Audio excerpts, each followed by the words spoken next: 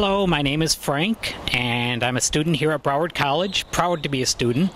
I'm getting ready to graduate very soon. I'm going to get an associate's degree in office management technology, and I plan on getting a bachelor's degree in technology management or something with technology. Um, I'm looking around. I have a really good GPA right now, and I've noticed the colleges really look for grade point average. And with a good grade point average, hopefully I can get a full ride somewhere. Or again, I can stay here at Broward College.